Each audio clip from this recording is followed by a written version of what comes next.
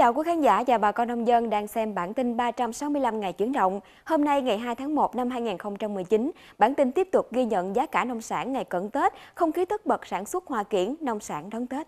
Mỗi năm cầm tin một con vật và năm heo vàng kỷ hợi 2019, nhà vườn làm kiển cũng tạo tác các chú heo rất là dễ thương. Mời bà con và quý khán giả cùng đón xem.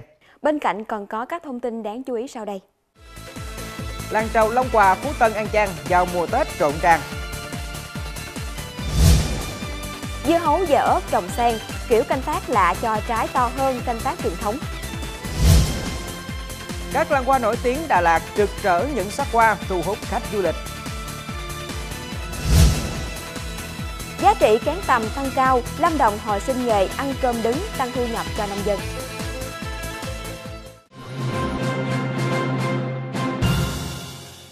Kính thưa bà con, nếu như ở Hậu Giang có làng trầu dị thủy vàng trực trời mỗi khi thu hoạch, tỉnh đang quy hoạch thành làng du lịch, thì nơi được mệnh danh là xứ trồng trầu của huyện Phú Tân, tỉnh An Giang, làng trầu ở xã Long Hòa. Nghề trồng trầu là nghề sống bền của người dân nơi đây, cũng như là nhiều ngành nghề khác. Trầu được tiêu thụ khá mạnh vào dịp cuối năm, kéo dài đến sau Tết.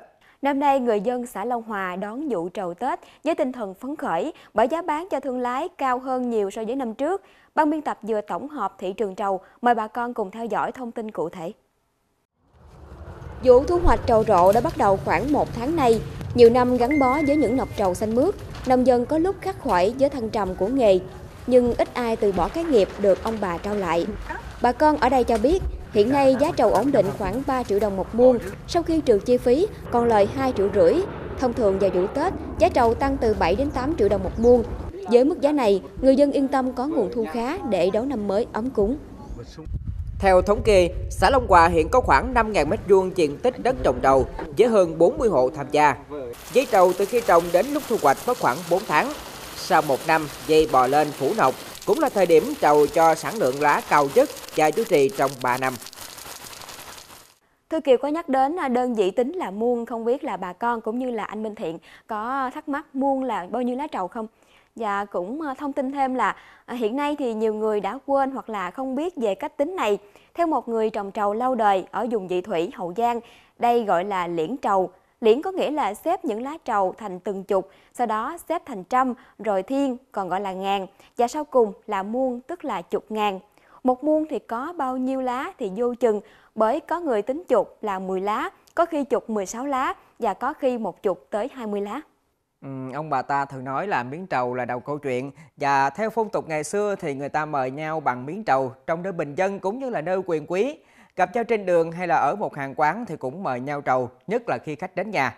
Ngày nay thì à, tục trầu cao chỉ còn áp dụng trong cưới hỏi, cúng kiến, vậy nên Tết mới là dịp bán chạy nhất ở miền Tây.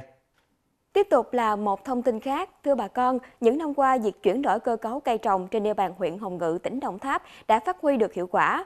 Không những thế, nhiều nông dân còn có nhiều sáng kiến, cách làm độc đáo, điển hình như trồng dưa hấu, sen canh trên ruộng ớt của nông dân Nguyễn Văn Mấu, ngụ ấp 2 xã Thường Phước 1, huyện Hồng Ngự, tỉnh Đồng Tháp. Dưa lạ lại vừa mang lại hiệu quả kinh tế cao so với trồng dưa hấu theo cách truyền thống. Ừ, thực tế thì đã được kiểm chứng như vậy. Những nông dân cũng không cho biết thông tin là vì sao dưa hấu trồng xen với ớt thì trái lại to và ngon hơn. Trước mắt thì bà con vui vì năng suất và sản lượng dưa đạt hiệu quả, bán có giá cao. Anh Nguyễn Văn Máu đã thuê 5 công đất để trồng dưa hấu. Anh Máu sử dụng hai công đất trồng dưa hấu theo cách truyền thống và để ba công đất còn lại trồng thử nghiệm xen canh dưa hấu với ớt. So sánh trực tiếp giữa hai ruộng dưa hấu trồng theo cách truyền thống và ruộng dưa hấu trồng xen canh với ớt cho thấy diện tích dưa hấu trồng xen canh với ớt phát triển tốt hơn và cho trái dưa to hơn so với ruộng dưa hấu truyền thống. Cụ thể, ruộng dưa truyền thống năng suất thấp chỉ khoảng 2 tấn một công, còn trồng dưa hấu xen canh ớt có thể đạt từ 3 đến 4 tấn một công. Khoảng một tháng nữa là anh có thể thu hoạch cả ớt và dưa hấu bán cho thương lái. Chỉ tính riêng dưa hấu với giá bán 4.000 đồng một ký thì anh lợi hơn 6 triệu đồng một công. Mặc dù chúng ta đã bước sang năm mới dương lịch 2019 rồi, nhưng mà Tết cổ truyền thì còn tới tháng nữa. Kiển thú hình 12 con giáp vốn là thế mạnh của làng hoa kiển chợ lách Bến Tre. Những ngày này thì nhà vườn đang tất bật chuẩn bị đón Tết. Năm nay chợ lách có gần 12 triệu sản phẩm hoa kiển các loại để mà phục vụ thị trường cả nước. Để đón chào năm mới kỷ hợi, rất nhiều nhà vườn đang tập trung sản xuất kiển thú hình các chú heo ngộ nghĩnh. À, tôi cũng rất tò mò để đón xem những chú heo ngộ nghĩnh mà anh Thiện nói thì như thế nào. À, thưa quý khán giả chào bà con, với hàng chục năm kinh nghiệm, các nghệ nhân tại đây đã tạo hình bằng cây tắc hay miền Tây còn gọi là cây hạnh, hình các chú heo và rất nhiều linh vật khác một cách rất là tỉ mỉ và khéo léo. Bây giờ thì xin mời chị Thư Kiều cùng với quý khán giả chào bà con hãy xem một vài hình ảnh sau đây. Ông Nguyễn Văn Chiến, ấp Vĩnh Chính, xã Vĩnh Hòa đã có hơn 20 năm kinh nghiệm trong nghề làm kiển thú. Tết này, ông Chiến dự định sản xuất hàng loạt kiển tắc hình heo với đủ kiểu dáng theo đơn đặt hàng của khách. Theo ông, giá thị trường năm nay, mỗi con heo kiển tắc dài 2m, cao 1m2 có giá khoảng 13 triệu đồng một cặp. Kiển tắc hình cây thông cũng xuất hiện năm nay để sản xuất những chậu kiển tắc hình cây thông bắt mắt bắt đầu từ tháng 10 âm lịch. Nhà vườn đã bắt đầu uống cây theo hình. Giá mỗi chậu kiển tắc cây thông năm nay từ 500.000 cho đến 1 triệu 200.000 đồng tùy theo loại lớn nhỏ. Bên cạnh đó còn có các loại qua như dạng thọ, mồng gà, ớt kiển, qua giấy. Theo nhà vườn, qua giấy năm nay giá thấp nhất là khoảng 75.000 đồng một chậu và cao nhất là khoảng 300.000 đến 400.000 đồng một chậu.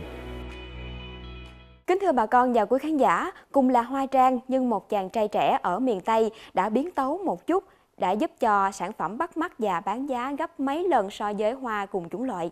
Chàng trai này đã làm gì trên hoa trang của mình? Mời bà con và quý khán giả cùng chiêm ngưỡng hoa kiển rất bắt mắt này ngay sau đây. Thay vì chỉ trồng mỗi chậu hoa trang kiển một màu như những nông dân khác thì để tăng sức hút, tạo sự mới lạ cho sản phẩm hoa, anh Huỳnh Ngọc Thanh đã sáng tạo trồng một chậu hoa trang kiển có đến 3 màu. Thì em trồng đây cũng 2 năm rồi chị ơi. Mà cũng như cái thường á thì em bán hàng công trình rồi đó là bán có 8 ngàn, 10 ngàn à.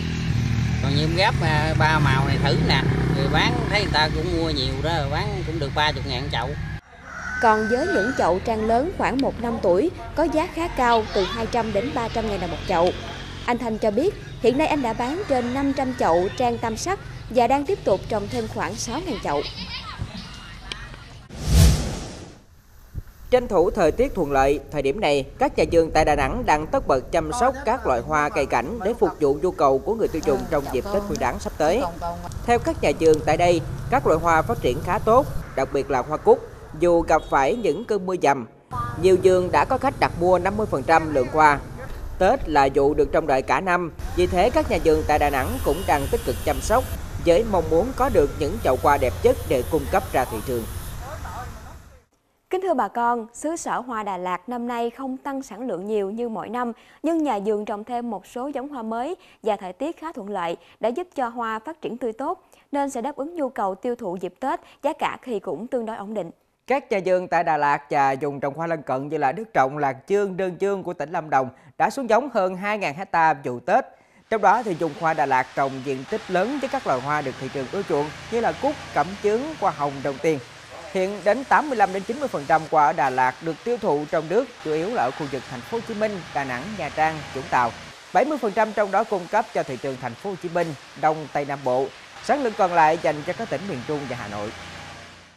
Đối với người dân Đà Lạt, hoa là biểu tượng của thành phố và cũng là niềm tự hào của họ. Và chắc hẳn tất cả những thành quả của ngày hôm nay bên cạnh sự nỗ lực của bàn tay khối óc con người, đó là còn nhờ vào điều kiện khí hậu, thiên nhiên ưu đãi để hoa trở thành một trong những cây trồng thế mạnh của ngành nông nghiệp.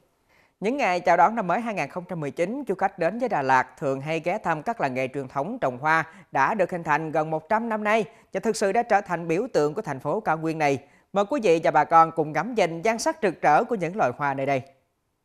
Ông nhuận theo nghề trồng hoa cũng là tiếp nối truyền thống của gia đình. Từ những năm 1936, bố mẹ ông nhuận đã vào đây khai hoang rồi nhận thấy lợi thế của vùng đất này. Gia đình ông đã lập nghiệp từ nghề trồng hoa và góp phần hình thành nên làng hoa Hà Đông cho đến ngày hôm nay. Hiện với hơn 1 hecta nhà kính, trồng chủ yếu là hoa hồng và cúc kim cương, mang lại cho gia đình ông tổng thu nhập trên 3 tỷ đồng mỗi năm. Cái ngành hoa mà phát triển ưu đãi là nhờ thành phố Đà Lạt là một cái ờ, một trong những cái ờ, thành phố mà ở Đông Nam Á là có được là nhờ khí hậu ổn định tốt và giúp cho cây hỗ trợ cho cây hoa nó phát triển tốt nhất cho nên gia đình ờ, kinh tế khá là ổn định. Trong quá trình hình thành và phát triển, Đà Lạt đã xây dựng được 4 làng hoa truyền thống quy mô lớn và có thương hiệu, gồm làng hoa Thái Viên, làng hoa Hà Đông, làng hoa Vạn Thành và làng hoa Xuân Thành. Giá trị thu hoạch bình quân từ trồng hoa của nông dân thành phố Đà Lạt đạt 800 triệu đồng mỗi hecta một năm. Một số mô hình canh tác hoa chất lượng cao đạt giá trị sản xuất từ 1 đến 3 tỷ đồng một hecta một năm. Đà Lạt, thành phố ngàn hoa, vì vậy các làng hoa từ lâu cũng đã trở thành điểm đến tham quan, thưởng ngoạn của cánh đồng hoa bạc ngàn sắc màu.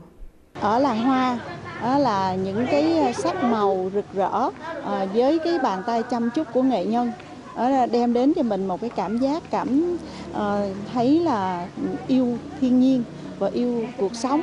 Nhìn cách mà những lão nông này chăm chút cho từng cành hoa, mới thấy tình yêu mà những người nông dân ở đây dành cho hoa nhiều như thế nào. Đó cũng chính là nguồn cội tạo nên sức sống mãnh liệt và bền bỉ cho những làng hoa ở Đà Lạt suốt 125 năm qua.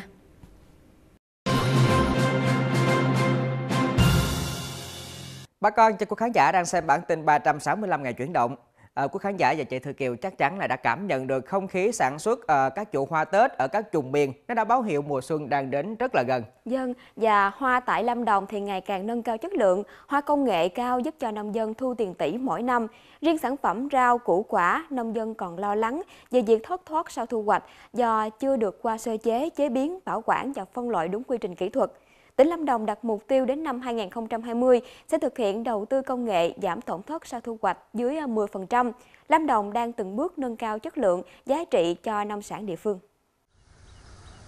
Ủy ban Nhân dân tỉnh Lâm Đồng đã ban hành kế hoạch nhân rộng mô hình trung tâm sau thu hoạch, bảo quản và chế biến rau củ quả trên địa bàn tỉnh giai đoạn 2017-2020 với mục tiêu tăng khối lượng sản phẩm rau củ quả được sơ chế, chế biến, bảo quản, phân loại đúng quy trình kỹ thuật, đảm bảo vệ sinh an toàn thực phẩm, góp phần giảm tỷ lệ tổn thất sau thu hoạch, giảm tỷ lệ nông sản xuất bán thô, nâng cao giá trị, sức cạnh tranh, mở rộng thị trường tiêu thụ, phát triển và quảng bá thương hiệu, Đà Lạt kết tinh kỳ diệu từ đất lành. Theo đó, thành lập 6 trung tâm sau thu hoạch có công suất chế biến từ 50 đến 120 000 tấn sản phẩm mỗi năm tại mỗi trung tâm. Với kinh phí thực hiện 309 tỷ đồng, Lâm Đồng sẽ đặc biệt chú trọng đến việc bảo quản sau thu hoạch với các kỹ thuật mới, Phạm vi ưu tiên thực hiện tại các huyện Lạc Dương, Đơn Dương, Đức Trọng, Lâm Hà và thành phố Đà Lạt. Ưu tiên các sản phẩm được sản xuất theo tiêu chuẩn Việt Gap, Global Gap, EuroGap. Để thực hiện điều này, tỉnh sẽ tiếp tục hỗ trợ các doanh nghiệp về vốn, công nghệ, máy móc, nhân dân. Trong thời kỳ ngành tơ lụa Việt Nam gặp khủng hoảng, chỉ còn lại một số hộ muốn giữ lại nghề truyền thống của cha ông mà tiếp tục sản xuất theo mô hình thủ công. Sau gần 20 năm, tới năm 2018, ngành tơ lụa Việt Nam đã phục hồi, kéo theo nghề tơ tầm của tỉnh Lâm Đồng, cũng như là huyện Đà Tẻ nói riêng, hồi sinh và phát triển mạnh hơn bao giờ hết và cho thu nhập ổn định trên dưới 200 triệu đồng một hecta mỗi năm. Tục ngữ có câu, nuôi heo ăn cơm nằm, nuôi tầm ăn cơm đứng, để chỉ sự vất giả của nghề nuôi tầm, đối nghịch lại với nghề nuôi heo. Nhưng vì sao khó nhưng mà bà con vẫn đeo đuổi giấc mơ trồng dâu nuôi tầm. Mời bà con cùng xem ghi nhận của phóng viên Đài Phát thanh truyền hình Lâm Đồng. Hiện nay, huyện Đà Tẻ đã khôi phục mạnh mẽ diện tích trồng dâu nuôi tầm và dâng lên đứng thứ hai trong toàn tỉnh, chỉ sau huyện Lâm Hà. Riêng trong năm 2018, Đà Tẻ đã có 300 hecta cây điều già cỗi bị dịch bệnh được chuyển sang trồng dâu. Tính đến thời điểm này, toàn huyện đã phát triển với 1.340 hecta cây dâu, với hàng ngàn hộ làm nghề nuôi tầm, mức thu nhập có thể nói là cao nhất so với các loại cây trồng khác trên địa bàn. Ban đầu nuôi là đến năm nay là năm thứ 12 rồi thì nó rất là hiệu quả cho bà con cho nên người ta mới đến người ta lấy tẩm giống tập trung trước kia thì là người ta nuôi nhà nào nhà ấy băng lấy sau vài vài năm nó không có hiệu quả nữa là bắt buộc phải đến lấy tầm giống tập trung nó là như vậy đưa vào trồng thí điểm từ giai đoạn 2014-2015.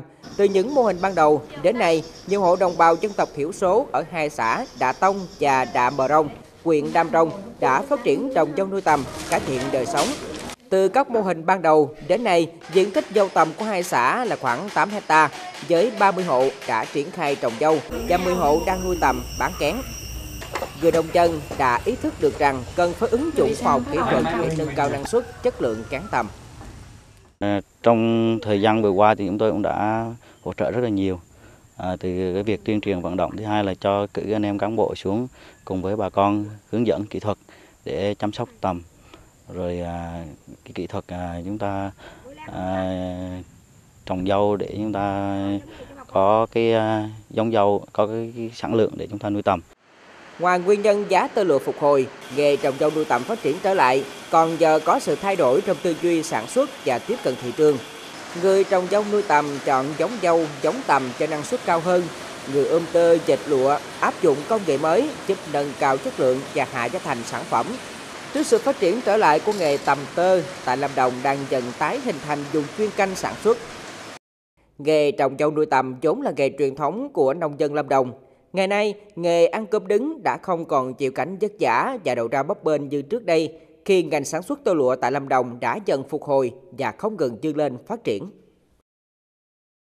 Nếu đầu ra ổn định, giá bán cao thì đó là lý do thuyết phục nhất để nông dân còn đeo bám và khôi phục nghề trồng dâu nuôi tầm, có đúng không anh Minh Thiện? Đúng vậy, sự vất vả của nghề này thì cũng đã giảm bớt đi. Tỉnh Lâm Đồng đang tập trung đầu tư hướng dẫn kỹ thuật cho nông dân, nhất là việc kết nối tìm đầu ra để tránh lặp lại khủng hoảng như mấy mươi năm về trước. Đến đây bản tin 365 ngày chuyển động xin chào tạm biệt bà con. Hẹn gặp lại bà con và quý khán giả trong bản tin ngày mai. Năm mới chúc bà con nhiều điều mới, thuận buồm, xuôi gió.